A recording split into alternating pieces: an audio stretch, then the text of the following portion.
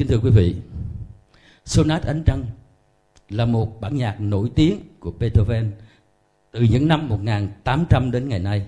Thực sự tác phẩm này là tác phẩm đánh số thứ tự của nhạc sĩ Beethoven. Tác phẩm là bản Sonat số 14 dòng đô thang thứ. Năm năm sau khi Beethoven qua đời, nhà thơ, nhà phê bình âm nhạc nổi tiếng người Đức Restap đã liên tưởng hiệu ứng âm thanh của tác phẩm với ánh trăng phản chiếu lấp lánh lung linh trên mặt hồ Lysen của thị Sĩ và đặt tên cho tác phẩm là bản Sonat Ánh Trăng.